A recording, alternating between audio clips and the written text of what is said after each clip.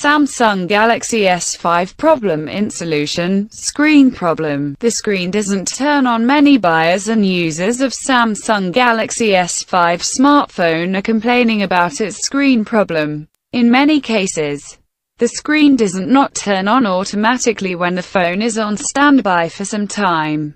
The screen just remains black. Here is how to solve and fix this problem. Restart the phone or turn it off and again turn it on. If the problem is not fixed then remove the battery and again insert it back. You may also have to change the lock screen setting. Just go to settings and select device. Select the lock screen option and then select additional information. Uncheck and turn off the setting.